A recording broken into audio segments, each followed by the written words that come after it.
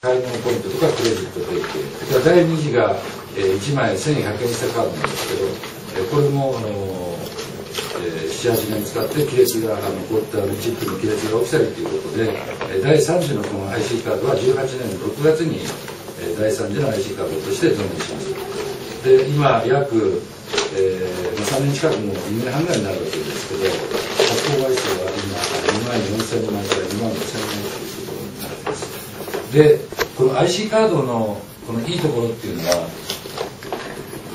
あの今お手元に、えこういったあの A4 の用紙で、えー、エルモルカードカードの各種機能っていうことで、えー、